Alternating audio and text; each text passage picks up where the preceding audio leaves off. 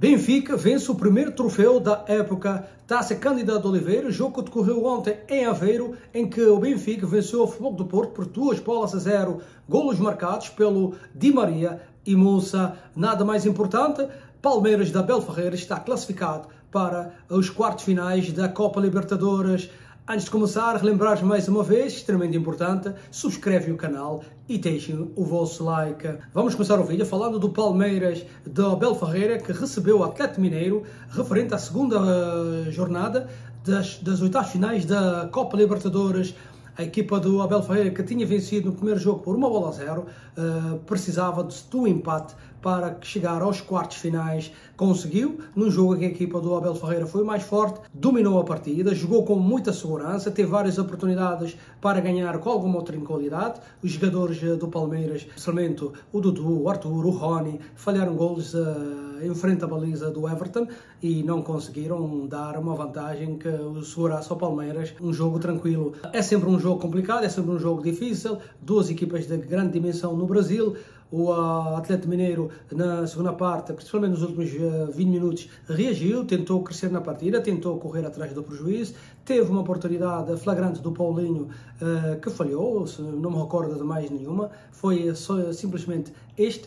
Uh, mas o Palmeiras, no conjunto das duas mãos, foi a melhor equipa e mereceu estar nas quartas finais da Copa Libertadores. No próximo jogo, uh, o Palmeiras vai defrontar a Libertad de Colômbia. O Abel Ferreira mostrou a satisfação, uh, disse que o Palmeiras foi superior no conjunto das duas mãos e está com todo o mérito nas quartas finais. Se perguntaram se é o principal candidato a ganhar a Copa Libertadores esta época, disse que é passo a passo. Uh, teve um jogo a seguir com um adversário difícil que ganhou o Desportivo dele Val e isso mostra o seu, todo o seu potencial. Mas Abel Ferreira mostrou confiante e também aceitou com naturalidade uh, uma certa inclinação neste momento, nesta competição quer estar focado na Copa Libertadores, não tem estado muito focado no Brasileirão e que neste momento o maior objetivo da equipa do Palmeiras é ganhar a Copa Libertadores. Vamos terminar o vídeo falando da Taça Cândido Oliveira, que o Benfica ganhou ao Porto por duas bolas a zero e venceu o primeiro troféu da época com golos do Di Maria e Musa na segunda parte, garantiram uma vitória do Benfica que acabou por ser justa, mas não tão simples como parece. Vamos por partes. Vamos começar por falar na primeira parte, em que o Porto entrou muito forte, pressionante, a dominar por completo a equipa do Benfica. Os jogadores do, do Benfica não sabiam o, o que fazer perante a pressão alta da equipa do Sérgio Conceição. Teve três oportunidades claras de poder inaugurar o marcador. Porto falhou na eficácia uh, e não conseguiu ganhar a vantagem e a surpresa no jogo que o Sérgio Conceição sim desejava. O Benfica reagiu nos últimos minutos da segunda parte, mas uh, pode-se dizer que o Benfica não fez um remate à baliza do Diogo Costa nos primeiros 45 minutos. Na segunda parte, Roger Smith fez algumas modificações e com a ajuda de algumas falhas da equipa uh, do Flow Porto, inaugurou o marcador por Di Maria depois da recuperação de uma bola do meio campo do Benfica. Passado dois minutos, Musa adiantou o Benfica no marcador, fez o segundo gol, depois de alguma confusão entre o Marcano e o Pepe na zona defensiva do Fogo Porto. O avançado do Benfica apareceu na cara de Diogo Costa e não teve uh, grandes dificuldades para aumentar a vantagem. O Benfica uh, ganhou mais tranquilidade, uh, ganhou mais dimensão, já se viu o Benfica uh, igual à época anterior e acabou por manter o equilíbrio das suas, dos seus jogadores e garantir uma vitória justa. O Real Porto queixou-se de um gol marcado na segunda parte, um gol que pareceu uma, na primeira imagem limpo, mas depois de ser analisado pelo VAR, viu-se que o jogador do Futebol Porto dominou a bola com a mão.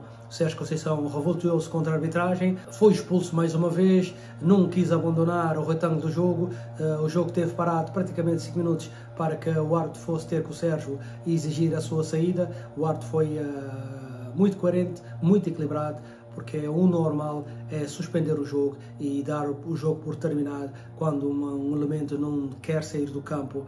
Sérgio Conceição não pode ter esse tipo de comportamento. Há que ter fair play, há que reconhecer que o Futebol Porto na primeira parte foi mais forte, teve mais oportunidades para ganhar o jogo, não conseguiu finalizar. Depois o Benfica foi mais feliz, uh, jogou melhor na segunda parte, uh, marcou dois golos, mereceu a vitória e há que ter fair play, independente se joga com o Benfica, com o Sporting, com o Beira-Mar ou com o Famalicão. A situação do Sérgio Conceição será analisada e possivelmente vai recorrer mais um castigo, já que relembramos, o Sérgio Conceição estava suspenso, ele tinha sido castigado por um mês de suspensão, mas que o Futebol Porto recorreu para ele poder estar no banco e agora as coisas normalmente vão ficar mais sérias para Sérgio Conceição. Benfica 2, uh, Futebol Porto 0. Este foi o resultado final na taça Cândido Oliveira. Ficam com as declarações do Roger Smith.